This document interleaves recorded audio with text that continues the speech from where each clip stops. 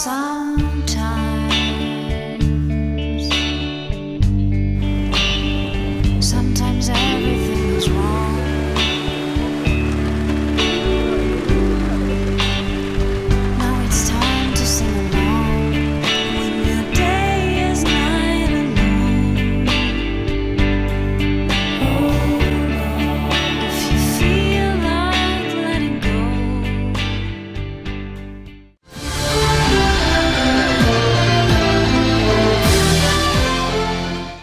O Rio Grande do Sul acumula uma conta de 1 bilhão e 800 milhões de reais em pedalada fiscal para tentar equilibrar as contas do Estado.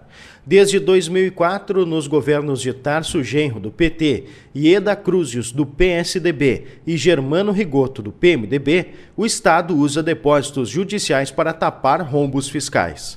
No ano passado, uma lei aprovada pela Assembleia Legislativa autorizou o governo de José Ivo Sartori, do PMDB, a sacar até 95% dos depósitos administrados pelo Tribunal de Justiça. O limite anterior era de 85%. O saque de 1,8 bilhões de reais do Rio Grande do Sul figura em terceiro lugar no ranking dos estados, atrás dos governos do Rio de Janeiro e de Minas Gerais. Na administração de Tarso Genro, o volume foi recorde, 5,7 bilhões de reais em valores da época.